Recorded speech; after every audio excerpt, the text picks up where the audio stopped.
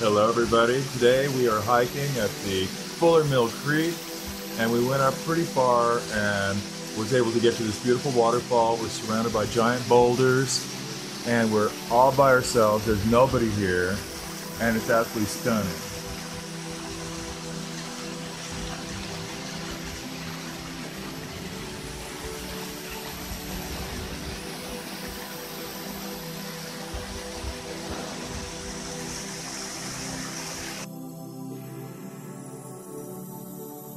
As Robin said, it's so beautiful here and so peaceful. And this is just 10 minutes from our house in Pine Cove in Idyllwild, California. And uh, we had a lot of snow and now it's all melted. We've got some great water running. Pretty cool.